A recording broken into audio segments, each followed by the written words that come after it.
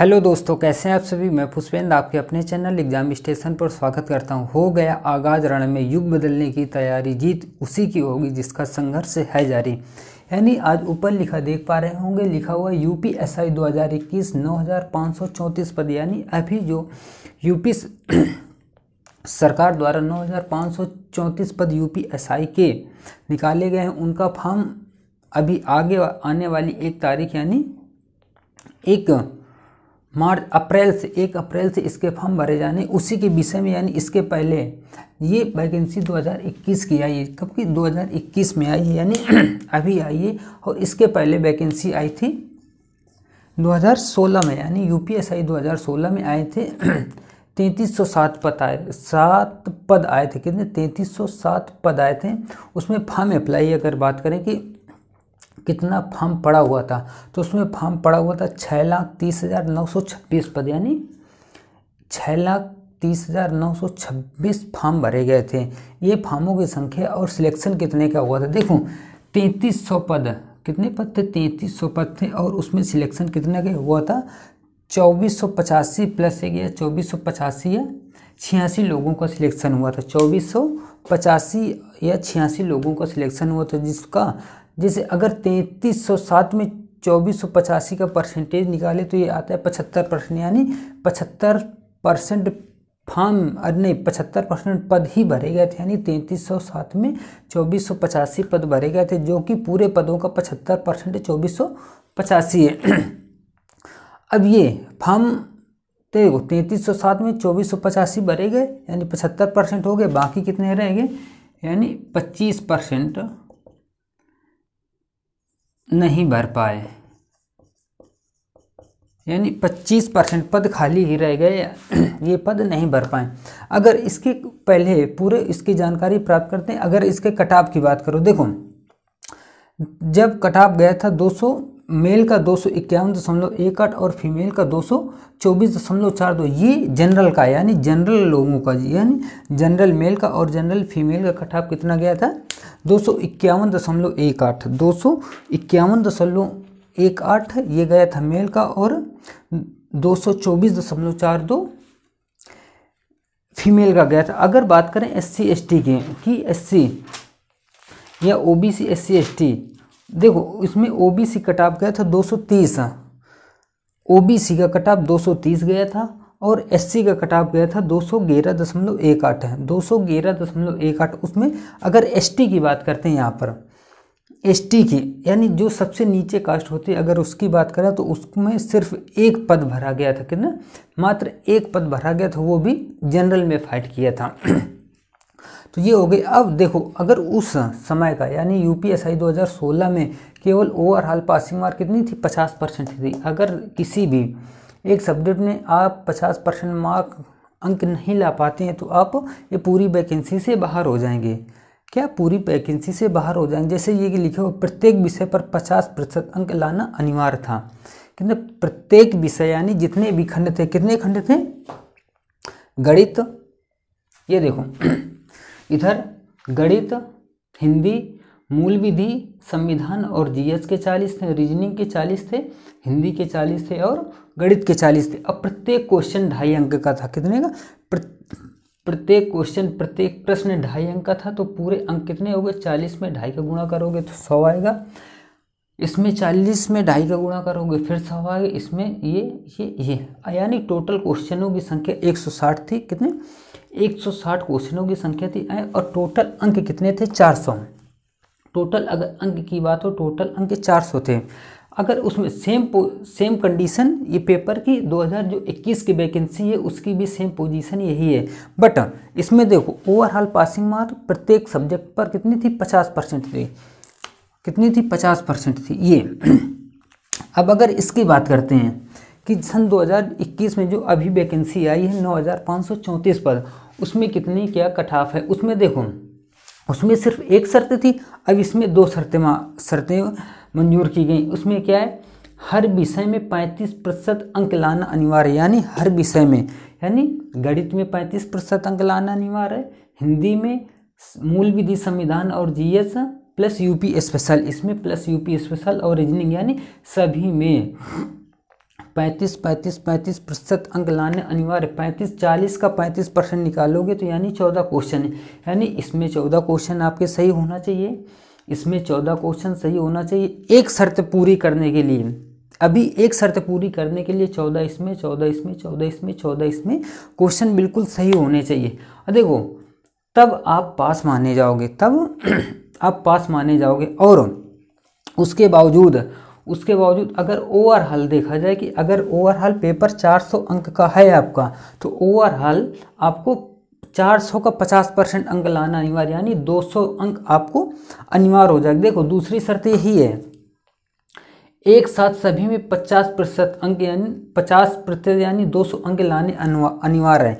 और ये कब होगा? ये नॉर्मलाइजेशन के बाद नॉर्मलाइजेशन के बाद आपके 35 परसेंट प्रतिशत अंक आने चाहिए और 50 प्रतिशत अंक आने चाहिए, यानी 200 अंक इसमें आने चाहिए और 14 प्रश्न इसका हर एक सेक्शन में 14 प्रश्न सही होना चाहिए। अब अगर बात करें तो देखो, अगर इसकी बात की जाए यूपीएसआई सन 2016 में जो 3307 पद आए थे। तो उसकी अगर बात करें तो देखो, पहले कंपटीशन क्या था? यूपीएसआई 2016 में कंपटीशन था, क्या था?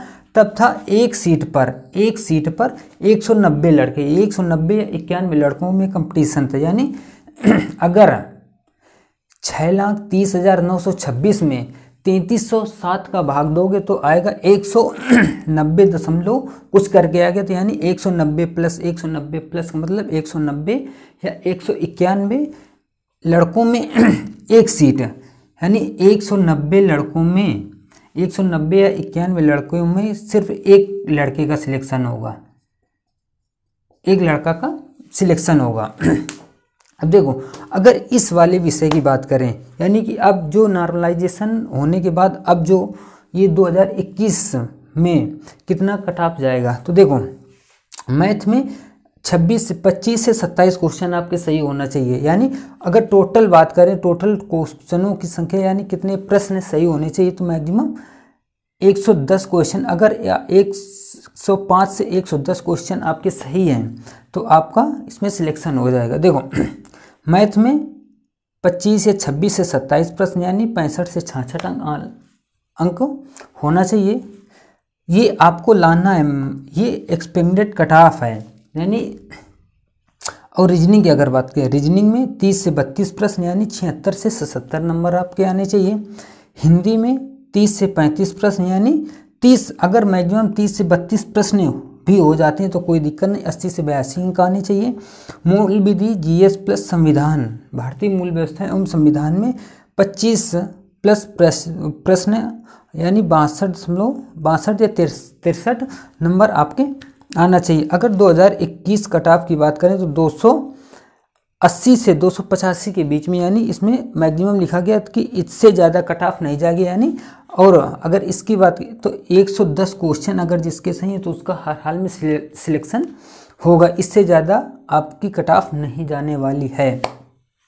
अगर इसकी बात करते हैं यूपीएसआई 2016 में जो आई थी तो उसमें 102 या 103 क्वेश्चन गई थी, यानी जिसके 102 से 103 क्वेश्चन थे, उसका फाइनल सिलेक्शन हो गया था। इसमें आप अगर दो सौ अंक हैं तो इसमें ढाई का भाग दे दो। यानी दो सौ इक्यावन दशमलव एक आठ में टू पॉइंट फाइव का भाग दे दोगे तो यानी क्वेश्चनों की संख्या आ जाएगी कि यानी कि लमसम कितने क्वेश्चन सही होना चाहिए। तो ये इससे निकल आएगा। अगर बात करते हैं अब इस वाले सेक्शन में, यानी इस वाले सेक्शन में लमसम देखो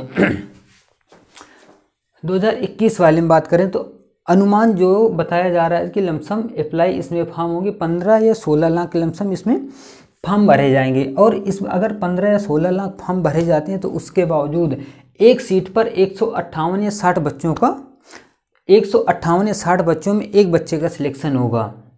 यानी एक सीट पर एक सौ अट्ठावन से 160 बच्चे आएँगे। और इसमें सबसे बड़ी बात यह है कि इसमें निगेटिव मार्किंग नहीं है। यानी 2000 जो 21 की वैकेंसी है 2021 की वैकेंसी में निगेटिव मार्किंग नहीं है, यानी नकारात्मक अंक आपका नहीं काटा जाएगा। और अगर बात करते हैं कि देखो, इसमें दो कंडीशन दे रखा है कि हर सब्जेक्ट में 35 परसेंट और ओवरऑल 50 परसेंट। और 2000 जो 16 थी, उसमें सिर्फ़ दे रखा था कि केवल पचास परसेंट अंक लाना अनिवार्य है। ये इसकी पूरी बेसिक जानकारी हो गई कि 2016 में क्या था और 2021 में जो वैकेंसी आई, उसमें क्या था? 2021 में मैक्सिमम कट ऑफ़ कितना गया था? 2021 में मैक्सिमम कट ऑफ़ कितना जाएगा? और 2016 में कितना गया था? इस सब के विषय में चर्चा हो गई। एक सीट पर 2016 में कितने बच्चों ने फाइट किया था?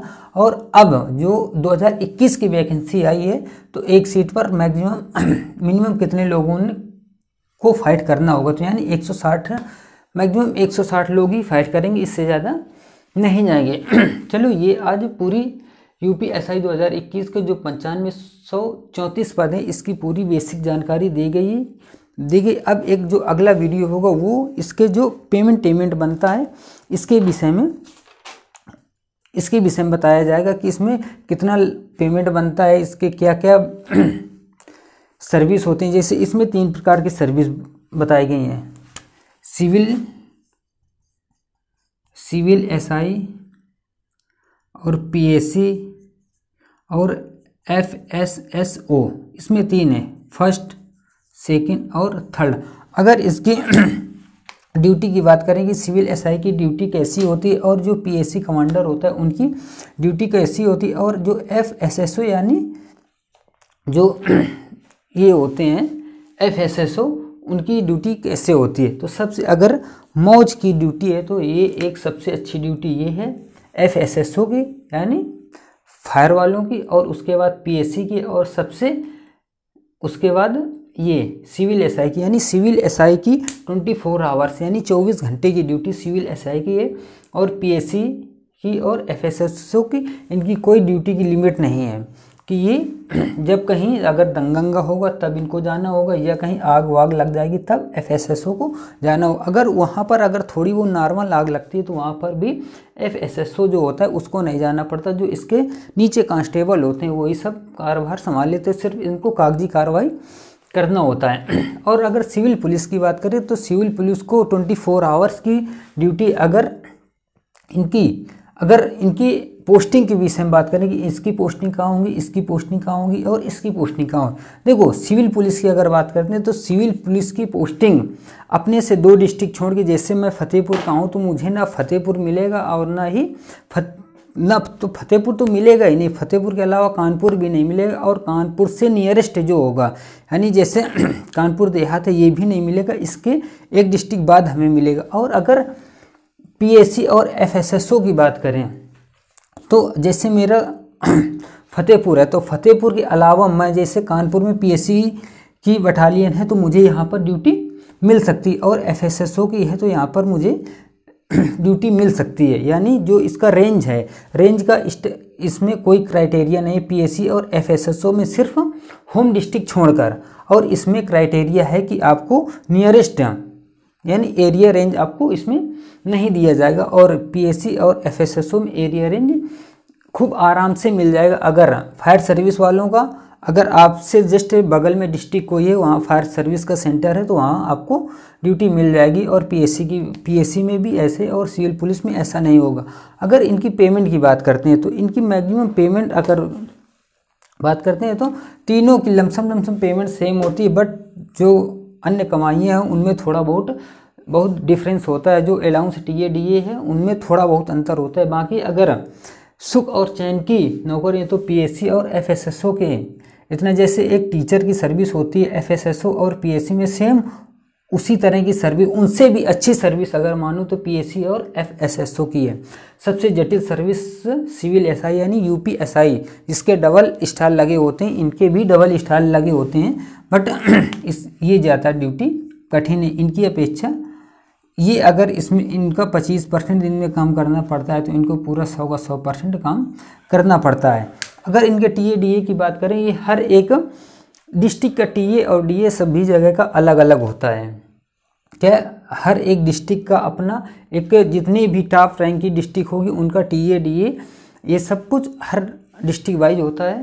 तो ये देखो हो गई सिविल एसआई पीएससी और एफएसएसओ एस एस की पूरी विषय में जानकारी। चलो अब